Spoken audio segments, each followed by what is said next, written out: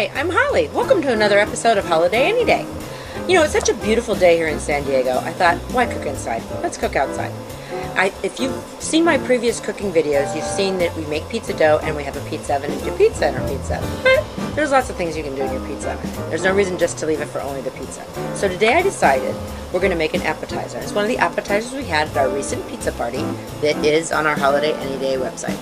So what we're going to start with is a couple pounds of salmon. You can see I've already chunked some of it up. Chunk the rest of it up. Just cut it into even little bite-sized cubes. I'd say one or two bite cubes. Keep it simple. You can have your fish guy take the skin off the back if you're not comfortable doing that.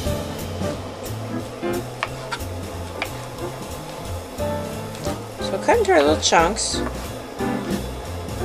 And then I created kind of a tasty spice rub. Has sweet paprika, thyme, salt, pepper, and brown sugar. Brown sugar always goes wonderful with salmon. It's nice and caramelized. Okay, so we got that. What we're to do is we're to toss it. Now, I don't know how many of you have used wooden planks. So use, you can use a wooden plank on the barbecue, which I've done very many times, but you can also use it in the pizza oven. You do have to remember to soak it first, because if you don't soak it, it's going to catch on fire and get totally burnt up. You don't want that to happen. But what we'll do here, we've already soaked our plank, as you can see. And we also have an interesting thing called a plank saver, which keeps it from burning up too much, which really, I think, is more appropriate for the, the grill. But the pizza oven, it's kind of handy because it makes it easier to get in and out of the pizza oven. So as you can see, we're just tossing the salmon. You can easily do this, I don't know, a couple hours ahead and throw it in a Ziploc bag or not, whatever works for you. It's fine either way. So we're going to do that.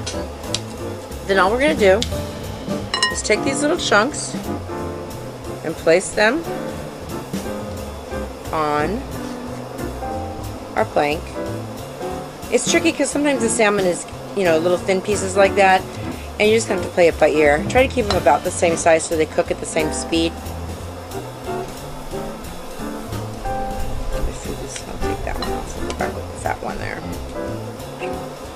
Okay.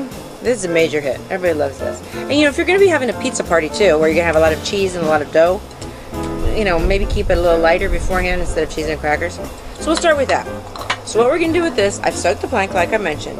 My pizza oven's been heating up for a while. It's about 600 degrees right now. So what we're going to do is we're going to take this, we're going to place it into our pizza oven.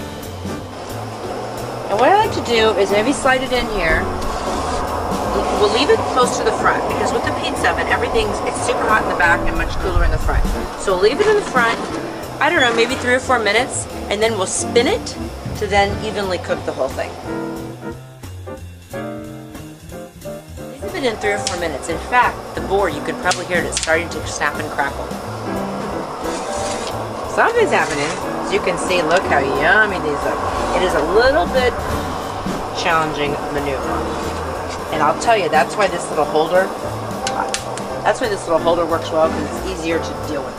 There we go. You can also get a hot glove, which I have, which maybe I need to put on. Spin that puppy back around. Okay, we'll give them another three or four minutes. Okay, it's been another three minutes or so, and I think our guys are ready to pull out of the oven. Let's check them out.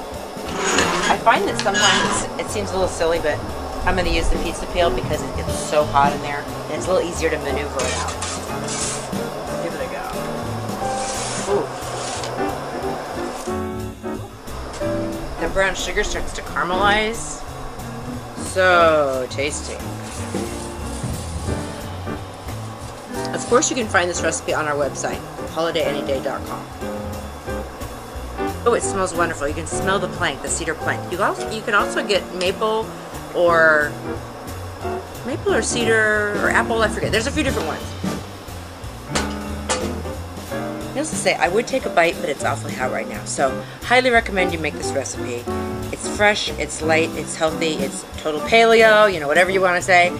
And uh, just, just give it a go. It's easy breezy.